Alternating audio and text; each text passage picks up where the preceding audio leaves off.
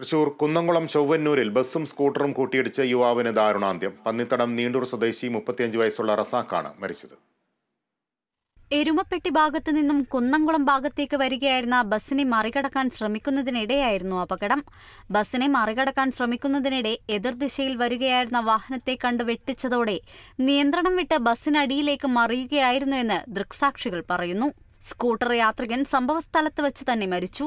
Kunnamkulam police സ്ഥലത്തെ മേൽ നടപടികൾ സ്വീകരിച്ചു. കുന്നംകുളം ദയാ റോയൽസ് ആംബുലൻസ് പ്രവർത്തകർ മൃതദേഹം കുന്നംകുളം താലൂക്ക് ആശുപത്രിയിലേക്ക് മാറ്റി.